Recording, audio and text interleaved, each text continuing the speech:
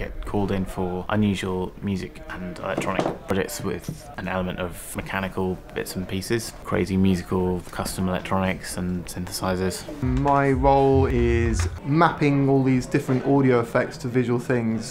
It's quite unusual, I suppose, to turn physical things that aren't instruments into instruments. It was fun to make a synthesizer out of some taps and some stairs.